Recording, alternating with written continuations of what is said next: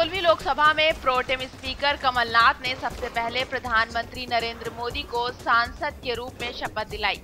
मैं नरेंद्र दामोदर दास मोदी, जो लोकसभा का सदस्य निर्वाचित हुआ हूँ, ईश्वर की शपथ लेता हूँ कि मैं विधि द्वारा स्थापित भारत के संविधान के प्रति सच्ची श्रद्धा और निष्ठा रखूँगा।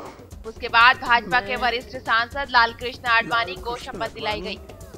आडवाणी को शपथ दिलाने के बाद कांग्रेस की राष्ट्रीय अध्यक्ष सोनिया गांधी ने संसद के रूप में शपथ ली।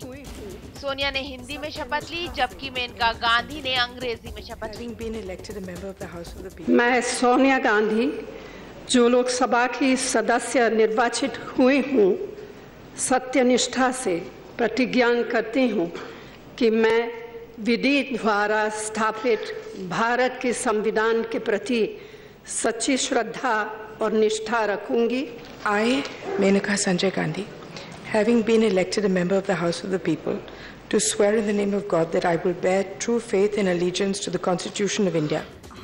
वहीं सुषमा स्वराज और उमा भारती ने संस्कृत भाषा में शपथ ली अहं सुषमा स्वराजः लोकसभाया सदस्यत्वेन निर्वाचितः निश्चयेन परमेश्वरस्य नाम्ना शपे यद् अहं विधिना स्थापितं भारतस्य संविधानं प्रति सत्यां, श्रद्धां, निष्ठां च धारयिष्ये।